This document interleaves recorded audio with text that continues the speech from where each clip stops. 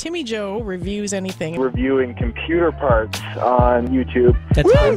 Gotta be pumped on that, right, Well, Peter Bart! Woo! Oh yeah. Finally, baby, we're back. We're making videos about computer CPUs, computer processing units on the internet. On the internet. Hi, we're back. Finally, we got an amazing little piece of kit for you here. We're talking. Boom! X79, finally on the platform. A very relevant. Oh my god, you saw the name of the freaking video, and I got my 1080 Ti decked out with a water cooler, Noctua fans. Uh, it's just, it's a crazy situation. There's a backplate on it for extra cooling. It's maxed out to the nines, and we've even got oh, bah, bah, bah, bah. oh it's, it's running. So let's talk about some things, okay? As you saw by the title, I think it's better than Ryzen, sort of, kinda, not really, but sorta. Uh, right now we're in Time Spy. We're running uh, 480, 490 from the wall. Okay, I don't know. You can see that 490 from the wall. Okay, and uh, oh yeah, there we go. And that's high. It's not actually that bad. I mean, I had a crazy dual GPU solution on the bench the other day, that uh, Voodoo computer, and it was running like over 800, so it's not like that. And there's eight cores in this thing, okay? This is a Xeon uh, 1680 version 2, 8 core processor, overclocked, over, over, overclocked with an AIO on my test bench to 4.66 gigahertz. It up to 6.5. It's about as far as it'll go, at least with that cooling solution. And the mother freaking craziest motherboard you've ever. It's got a Gatling gun! It's right there. It's got a freaking bullets. For, it's, it's insane. It's the MSI X Power uh, 2. Okay, big bang. And it's uh, got a 20 phase VRM on it. It's absolutely nuts. And you could do like quadrillion SLI on it because it's got one, two, three, four, five, six, seven. Well, you could probably only do three, but still, you get the idea. You can do lots of things with this thing. Pretty cool motherboard. So, why do I think X79 is so relevant? Well, I'm just playing Time Spy here just to get to show you the power consumption. That's well, I already ran all the benchmarks, so don't you worry about that, little Billy. Um, but very, very, very, very relevant. Uh, and you have to be savvy, okay? Because there is some potential for this with the right CPU to be better than Ryzen. And that by that I mean better in games specifically, okay? This still will get trumped by my 2700X when it comes to uh, uh, multi-core performance in like very core heavy workloads. But I was very surprised to find out, and we'll run Cinebench as soon as this is done. I already got some results anyways, but that this thing, uh, you know, gets chomped on by like 300 points. So by like 15 to 20 percent over my uh, 8-core equivalent AMD friend over here.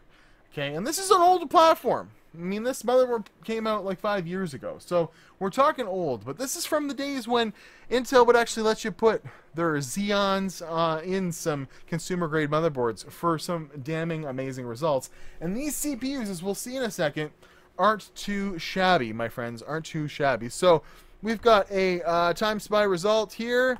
She's loading up of 10,403. That is not freaking bad. So you're here for the the gaming. Uh, we'll get to that in a minute. Okay, I gotta clickbait you, talk you through. You know, I gotta talk. I gotta make the video 10 minutes long so I make my money, right? well, let's run Cinebench. We'll run the Cinebench. So, what do you think it'll do? And I got the temps under control. It's actually not really the, the temps aren't the problem. I just really hit the wall, and that's probably because this Xeon is soldered onto the, you know, just like a Ryzen would be. There's no crazy crap Tim in there to be getting in the way. So we'll launch hardware monitor there too. We'll do a little Cinebench run, and this is not optimum performance. I've gone a little further than this will show, but I, I love running Cinebench on fast computers because it just gives me like, you know, maybe 30 seconds at most to blather to y'all while I'm making it happen. But uh, yeah, it's the 1680 version 2, and uh, we'll show you in a second how you can tell which Xeons will work in these platforms too. Uh, and if you want to get into this, I'm actually, this opened my eyes. I wouldn't have considered this as a main workforce. 1651! That's 1700 performance. That's better than Ryzen 1700 stock performance. It's about 1800x performance. This is in a little bit different of a league. Okay, this uh, you've seen it. I almost did 2,000. Well, I did 2,000, but it'll do like 19, 20. You know, uh, overclocked to 4.3 gigahertz all day long. And I've got 64 gigs of some mixed memory in here. You might get mad at me, but I mixed some Dominator and some Predator RAM to get 64 gigs of uh, 1600 megahertz memory. I didn't overclock the memory. It's running at uh, uh, CL10, so it's it's pretty good, pretty good stuff.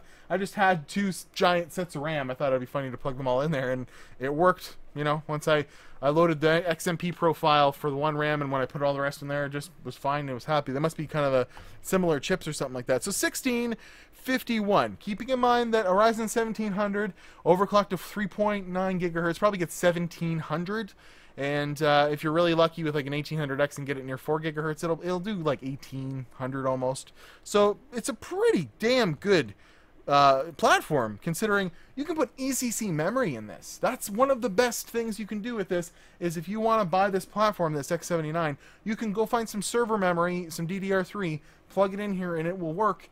And it will be very much cheaper than buying some crazy DDR3, uh, you know, uh, you know, the new or used off eBay that's got the crazy heat sinks and stuff on it, and it'll perform virtually the same. Uh, so your memory is going to be cheaper. The CPUs are, are still rather expensive. So yes, we'll overwrite the data. We'll just check the temps real quick. So uh, we see here that uh, the package got up to 70 degrees, so that's not bad at all. And uh, it even says here that the CPU temperature, where where's that? Or was it a VID? Is it a core? The cores, yeah, one of them got to 70 degrees, so that's not bad at all. Really, really quite good. So um, in games, that uh, will with the same video card in it. Uh, here I'm showing it up on the screen. I think it was like just about 400 watts. And in Time Spy, this was almost near 5. So it's about a 100 watt difference. So it's not even that much less efficient. I mean, it is less efficient, but, uh, you know, by uh, a fifth. But that's that's not too, too bad. So let's get on to my web pages that I brought up all I'm proud of them, my web pages. I always have nice web pages, don't I? This is the motherboard website, and it's crap. I just put it up here to prove that it's crap because it doesn't show anything about this thing. It's like there's no you know talk about the the power delivery, the power phases, you know, much of anything on the specs page. That's why we move down to boop boop boop, there we go.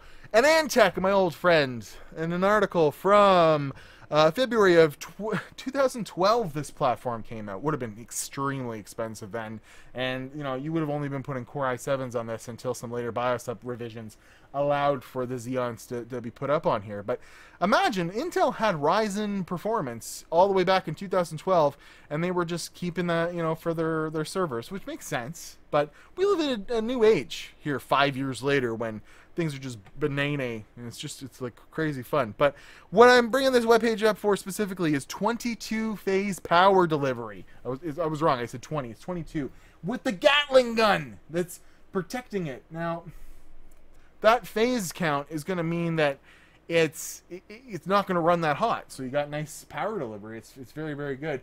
And this doesn't have any crazy chipset fans or anything just bullets that's all you need for cooling. So yeah, moving on. This is um, CPUupgrade.com, and this lists all the motherboards that are compatible with certain C, uh, CPUs. So we see the Intel Xeon E5-2680, uh, which is a 12-core processor, is still compatible with this motherboard.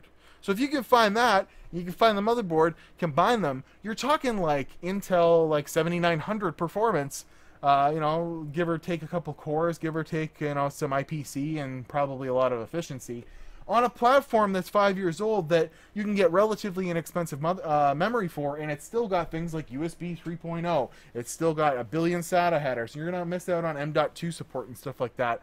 But you know, it all depends on what your flavor of the week is, okay? And yes, Ryzen's a better deal, you know, because it's new and it's going to last for longer and it'll be relevant for longer. And yes, it has DDR4 memory, but that's very expensive right now. So there's all kinds of pros and cons, but I was I literally wasn't sold on this. I, I, initially plugged it in with an air cooler on it, and I was getting like 4.4 gigahertz, and you know I wasn't really too impressed. But once I started playing the game benchmarks, which we'll see in a second, that's where things really picked up. So if you want to go on eBay, you could pick up uh, a Xeon E26. That's a 12-core processor for 380 US dollars. So that's a, that's a crazy good value. I, I would go as far as to say that's like the the second Threadripper, the 1920 or whatever. That's about that performance for like half the price. So I'm considering this as maybe a daily, you know, driver PC. I'm gonna need a couple PCs coming up. I'm moving into an office actually, uh, studio for the set. So I'm gonna need a PC at home. I'm thinking of maybe adopting this platform. It's pretty cool. So you know, they do sell these on AliExpress in various flavors and various prices, but we see here, uh, I wanted to find the one that I had. I think it's right here. No, this is still the 12 core. It's only 200 bucks on here, or 10 core, sorry. So there's options. Uh, uh this because there's a lot of different Xeons. This specific one wasn't on AliExpress, but uh, I would I would say you could probably pick it up for 180 dollars or an eight core in that in that price range. That'll overclock on this platform, which is pretty cool. So the motherboards is what's going to get you. I understand that. You think X58 motherboards are still expensive? These things are brand new. You, you could pick up an X299 motherboard for the same price, and I'm not going to fool you on that. We see here that if we're looking for a good one, like there's a Sabertooth up here, it's going for 147.50. There's a day left in the auction, it'll jump up to $300. So let's go down here. Uh, you know, there's the, a lot of these motherboards. Uh, here's an ASRock Intel X79 motherboards, $200. Like the the good ones go for like crazy high expensive, and then you gotta watch you're not getting these Chinese ones. There's some Chinese ones that will not overclock a CPU like this, you know, or they will, but you're never gonna get the performance that this motherboard does. So it's pretty damn ridiculous. So. Uh, here, let's go on to some game benchmarks uh, with a little bit of music or something. I just did four benchmarks so I could compare the uh, Ryzen uh, performance over this because I actually found out, pleasantly surprised, this platform, even though the IPC is lower in Cinebench and what have you, in games, it kicks the ass of the Ryzen, even though this is the brand newest platform with DDR4. Kick it, Timmy Joe!